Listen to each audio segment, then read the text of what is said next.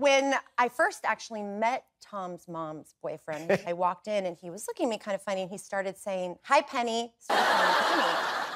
And which I laughed. Like, so like hours go on and like Tom brings me aside later. He goes, I have, I have no idea why John's calling you Penny. Like I'm so embarrassed right now. I told him your name multiple times. I'm like, no, I think he's just he likes, you know, he likes Big Bang Theory. And Tom's like, what are you what are you talking about? That was the moment I knew that Tom had never seen the Big Bang Theory.